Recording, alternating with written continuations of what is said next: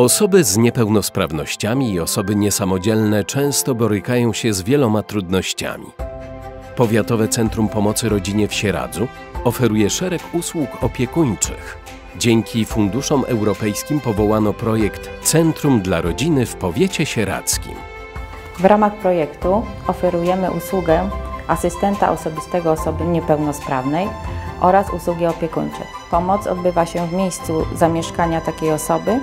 Ponadto oferujemy pomoc poza miejscem zamieszkania w formie krótkookresowego pobytu wytchnieniowego dla osób niesamodzielnych i dla opiekunów faktycznych, a także szerokie wsparcie dla rodzin zastępczych.